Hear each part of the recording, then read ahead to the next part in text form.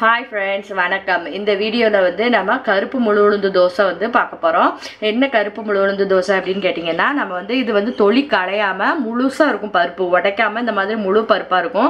அந்த பருப்பு போட்டு நம்ம இன்றைக்கி தோசை எப்படி சுடலாம்னு பார்க்க போகிறோம் இது வந்து ரொம்ப ஹெல்தி பெண்களுக்கு வந்து ரொம்ப மு முதுகுக்கெல்லாம் வந்து ரொம்ப ஹெல்தி முதுகு தண்டெல்லாம் வந்து நல்லா பலமாகிறதுக்கு இந்த இந்த தோசை வந்து ரொம்ப ஹெல்ப் பண்ணும்.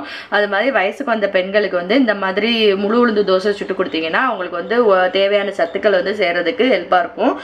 இப்போ இது வந்து எப்படி செய்யலாம்னு பார்த்துடலாம் ஃபஸ்ட்டு வந்து இதுக்கு இந்த இந்த கப்பு எந்த ஒரு டம்ளர்னு நீங்கள் எடுத்தீங்கன்னா நான் இது வந்து நூறு பருப்புக்குள்ளே இது மெஷர்மெண்ட் எடுத்திருக்கேன்.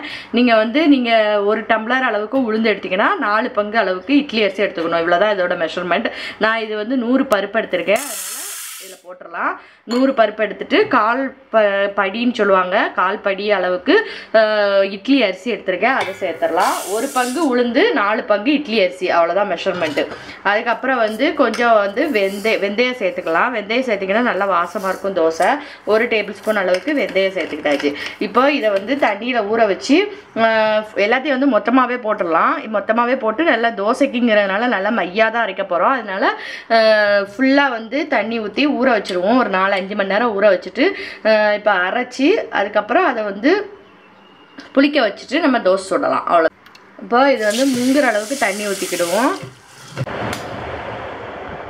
இப்போ பார்த்தீங்கன்னா பருப்பு எல்லாமே நல்லா ஊறிடுச்சு. இப்போ இதை தண்ணியை வடிச்சிட்டு நம்ம மிக்சியில் போட்டு அரைச்சிக்கலாம். நான் கொஞ்சமாங்கிறதுனால மிக்சியிலே அரைச்சிக்க போகிறேன் இப்போ இதை மிக்சிக்கு மாற்றிட்டு பார்க்கலாம். இப்போ நம்ம மிக்சி கிண்ணத்துக்கு மாற்றியாச்சு இது கூட வந்து கொஞ்சம் தண்ணி சேர்த்துக்கலாம். இது வந்து தோசைக்குங்கிறதுனால நம்ம வந்து கொஞ்சம் தண்ணி சேர்த்து கொஞ்சம் மையாக அரைச்சாலே நல்லாயிருக்கும். இதில் தோசைக்கு தேவையான அளவு உப்பையும் சேர்த்து அரைச்சி எடுத்துடலாம்.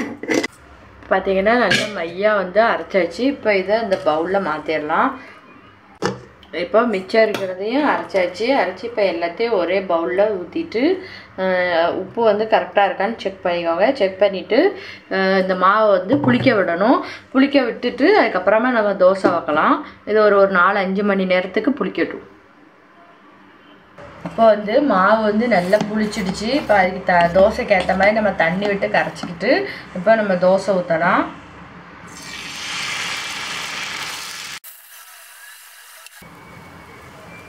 இந்த மாவு பார்த்தீங்கன்னா நல்லா முறுமுறுப்பாக சூப்பராக வந்து தோசை வருது. இது வந்து ஒரு பக்கம் வேகட்டும் அப்புறமா நம்ம அடுத்த பக்கம் மாற்றி போட்டுக்கலாம். இப்போ ஒரு பக்கம் நல்லா ப்ரௌனிஷாக வெந்துடுச்சு இப்போ அடுத்த பக்கம் மாற்றி போட்டுடலாம் இப்போ இது இன்னொரு பக்கமும் வெந்துடுச்சு இதை இப்போ எடுத்துடலாம். உங்களுக்கு பார்க்கும்போதே தெரியும் நல்ல மொறு மொறுன்னு சூப்பராக வந்து நம்மளுக்கு தோசை வந்திருக்கு. இதை வந்து நீங்களும் உங்கள் வீட்டில் ட்ரை பண்ணி பாருங்கள் சூப்பராக முறுமுறுப்பான நல்ல சத்துள்ள தோசை இது. நீங்கள் இதை உங்கள் வீட்டில் ட்ரை பண்ணி பார்த்துட்டு உங்களுக்கு பிடிச்சிருந்துச்சுன்னா லைக் கமெண்ட் ஷேர் சப்ஸ்கிரைப் பண்ணுங்கள் தேங்க்யூ